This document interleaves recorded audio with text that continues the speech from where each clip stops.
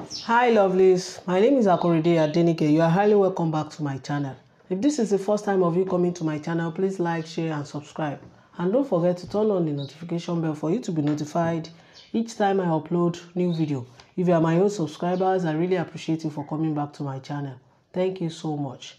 In this tutorial today, I would like to teach you how to cut and sew these beautiful flowers showing on the screen. Let's get into it. Now, I'm making use of full circle flare for my flounce today and I'm drafting it out first. This is the pattern paper I'm using for the drafting. So I folded it into four equal parts. To know the amount of paper you are folding for your home, make sure you get the length of your flounce right. So as for this now, I'm making use of 7 inches for the length of my flounce. I have 9.5 inches here just because I'm picking 2 inches for the radius of my flare.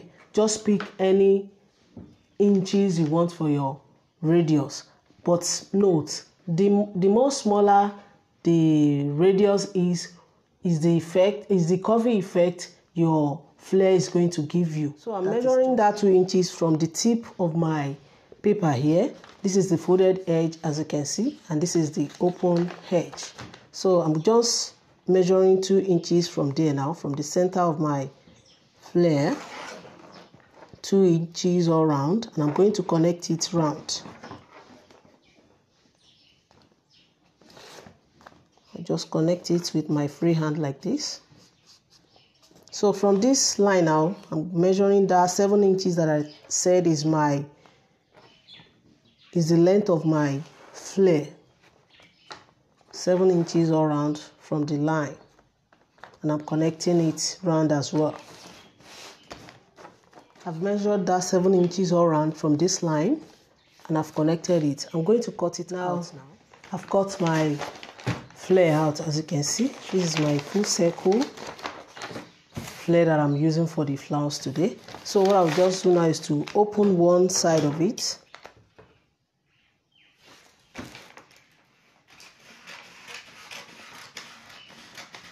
so my draft is ready now as you can see.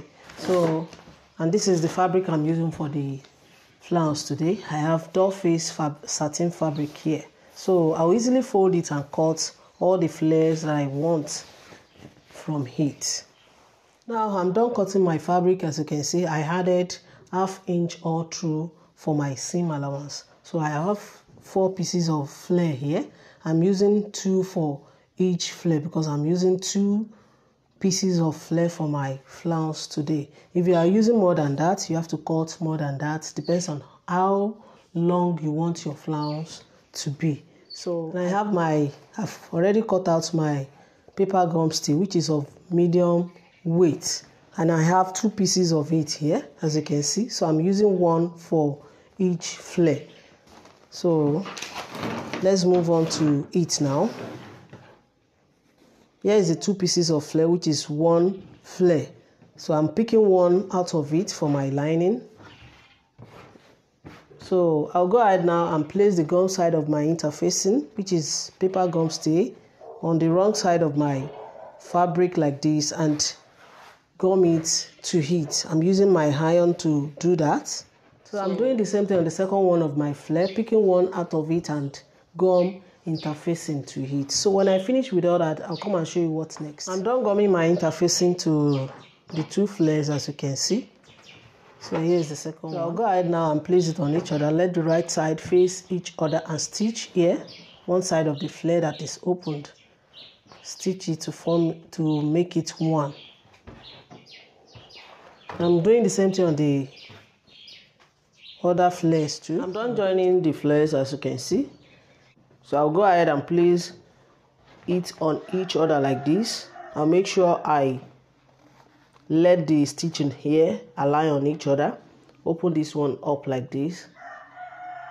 And make sure you open this one too up like this for it to flat. For it to lay flat very well after stitching. Open it up like this and let it align on each other and stitch the bottom. You can start your stitching from the center here till now, I'm done joining I'm done stitching the two flares at the bottom as you can see. So here is it. So I'll go ahead now and trim all the excess at the edges here and notch it with quarter of an inch. After that I'm going to turn it to the right side and give it a good press. So after doing all that I'll come and show you what's next. Now I'm done ironing my flare. As you can see it's very nice and beautiful the interfacing is on the lining which is here now which is the wrong side of my flare now. So I'm going to show you how to attach it on the skirt. Assuming this is the skirt I'm attaching it to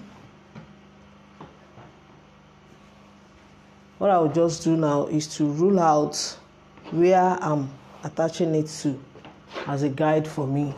So I'm making a straight line at this one side of this skirt now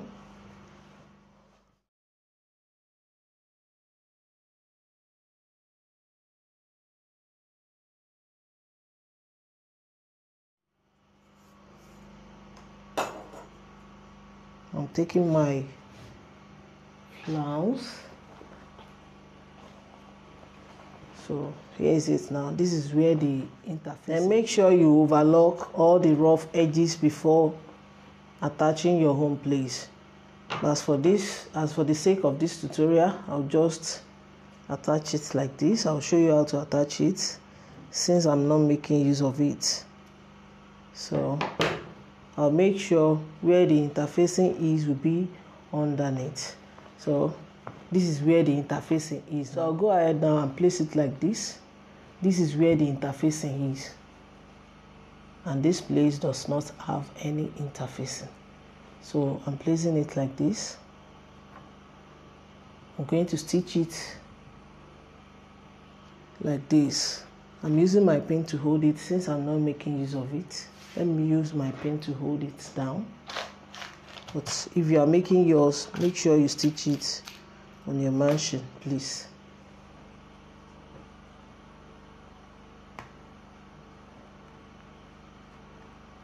But do that when you are stitching it on the skirt do that before you finish up your skirt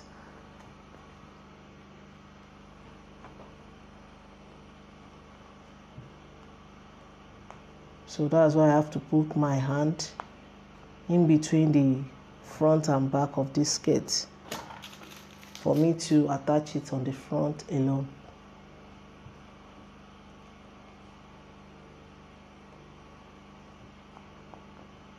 But if you are making yours make sure you attach it on the front before you stitch the back and the front together. So I'll now go ahead and turn it like this hope you understand. I'm going to turn it I'll start turning it like this as if I'm rolling it to give me that effect I'm talking about.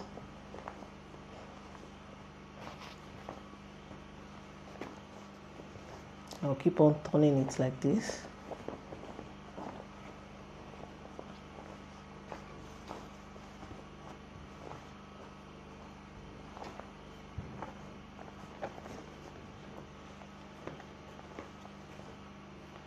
hope you are understanding what I'm doing I'll just be turning it like this to make it form the flounce the stylish flounce I'm talking about you know that's that flounce look like corn.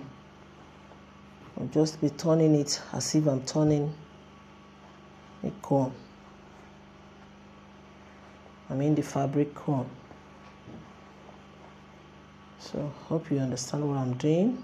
I'm just returning it like this. Look how beautiful this flounce is now. So what I'll just do now is to use my pin to hold it for you guys.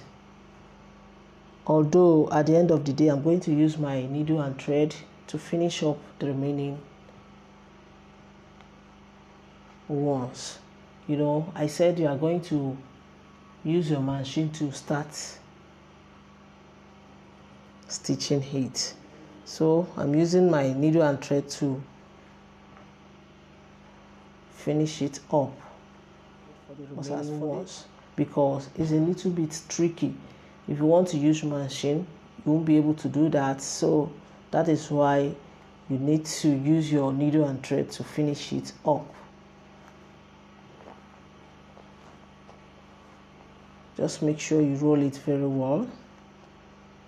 And I'm going to use my pin to hold it down now for you to see how it's going to look like at the end of the day. But I'm going to follow the line.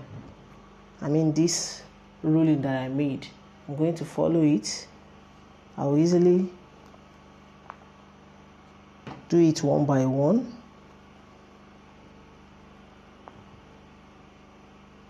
That is how you are going to make it and make sure you finish up with the front before you stitch the back and front together to make it easier for you please. While while tacking it you can be spreading it out just like this.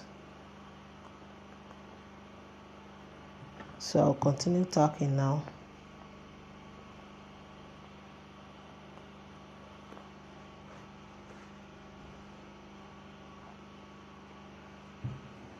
the first one.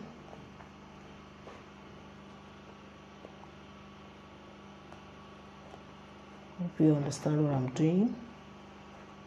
Make sure you always spread it out while tacking please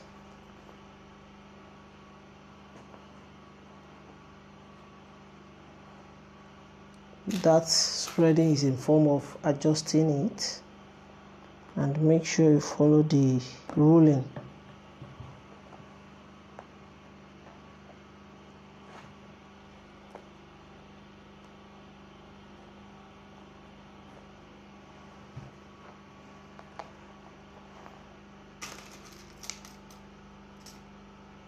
It's a little bit tricky. It's a very stylish flounce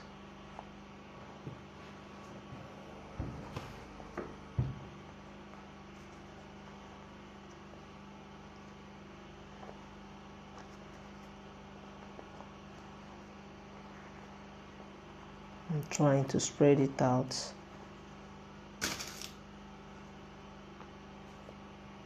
To give me a lovely shape.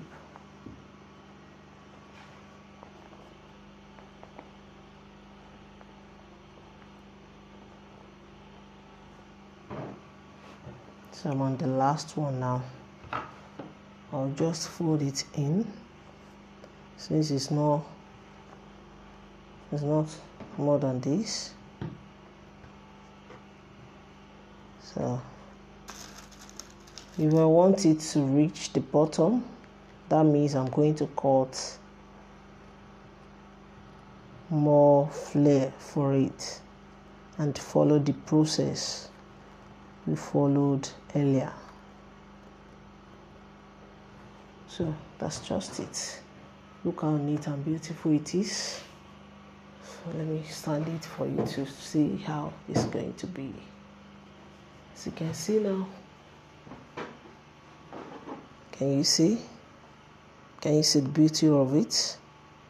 It's very nice. And you can add your own creativity to it too.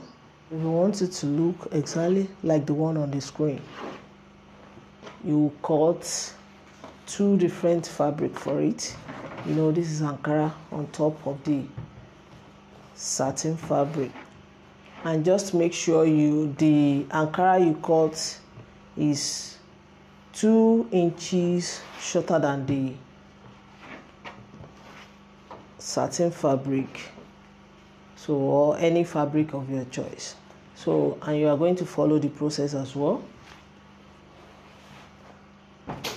You start by ruling as a guide then stitch here as it starts and start rolling like this like I did on the first one and make sure you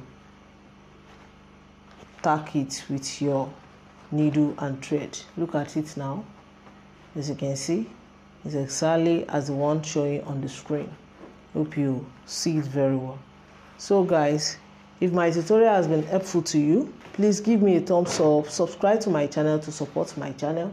If you have any question pertaining to cutting and sewing you can join me on my facebook group details to sewing created by akorede adenike. I'm on twitter and instagram at akorede adenike. Please show some love by liking and following my page on facebook at akorede adenike sewing tutorial. Till i see you in my next video guys. Stay safe stay blessed. Bye bye